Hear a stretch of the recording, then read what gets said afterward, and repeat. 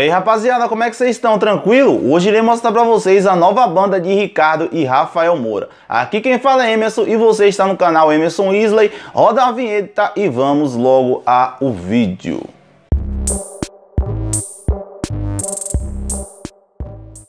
Pois é, minha rapaziada, nós sabemos que Ricardo e Rafael Moura é um dos maiores empresários e produtor musical da Bahia. E no ano de 2018 eles gravou um DVD intitulado como a Pomparte dos Moura, onde reuniu todas as bandas da empresa A Culpa é de Quem? Luxúria, Lambaçaia, Dog Monstro, MC Culpado, Quarto de Empregada, Som do Povo. E agora em 2019 eles vão gravar outro DVD intitulado como a Pomparte dos Moura 2.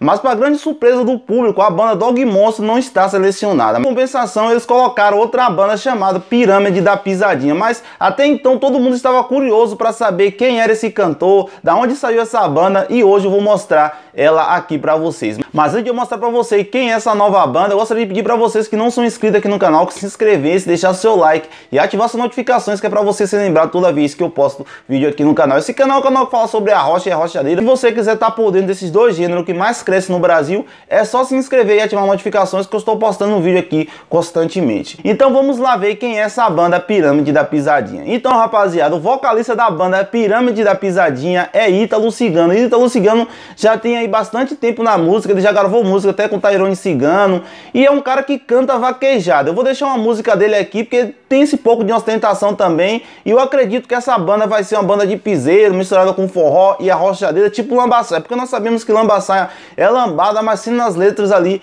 eles acabam colocando ali um pouco de arrochadeira e dá aquela mistura e sai coisa boa, porque os Moura já sabem, né? Mão de ouro. Então vamos lá ver um pouco de Ítalo Cigano cantando.